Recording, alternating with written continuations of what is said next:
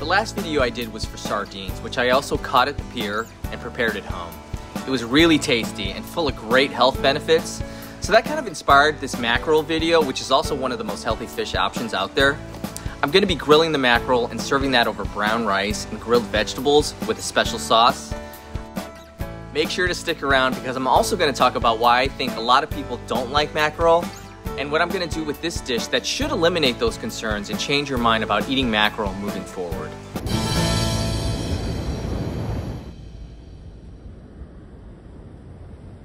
All right, we got a bigger one here. biggest one yet.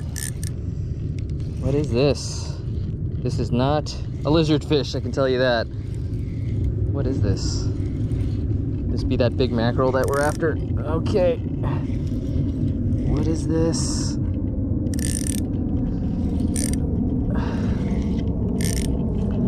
Tighten the drag here so I can get them up. Okay, looks like there's two fish here.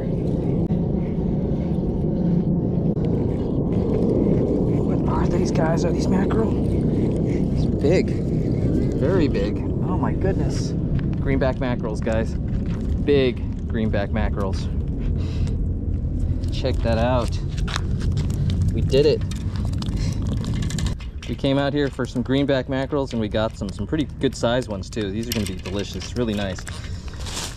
So mackerel is one of those fish that people tend to not like as much as other fish.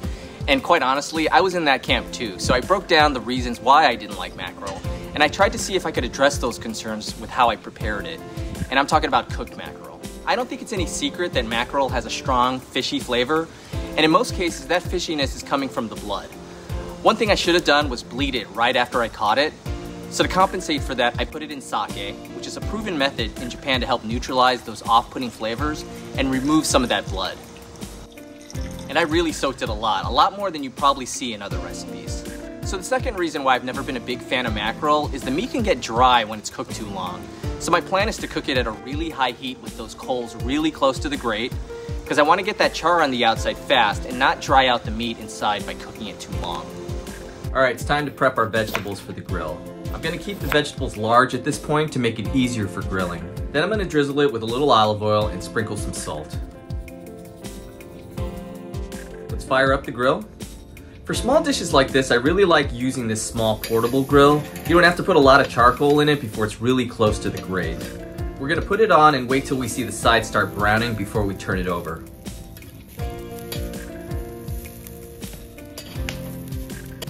Those are done. Now we can put our fish on the grill.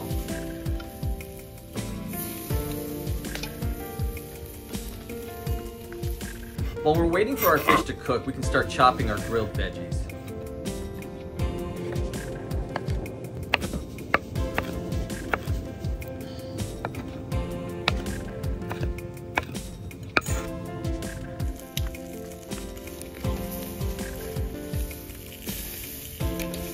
So I know what you're thinking, that's burnt. But that char is where a lot of the flavor is. It's why you grill in the first place. You want that unique char flavor. All right, the fish is done.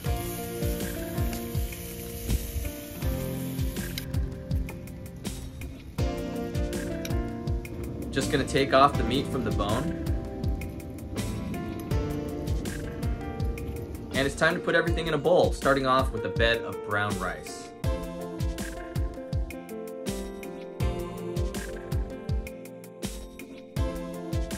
Gonna add some finely chopped chives.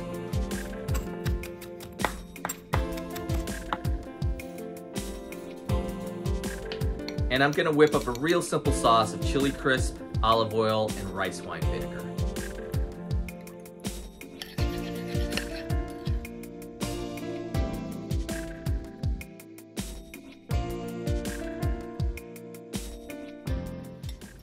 All right, here's our grilled mackerel on top of brown rice. And we're serving it with grilled vegetables. We got our yellow and red bell pepper as well as our asparagus.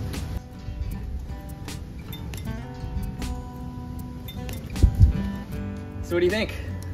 It's really good. The fish has tons of flavor. A maybe a little bit too much flavor because of all the sake that's been soaked in here. Yeah.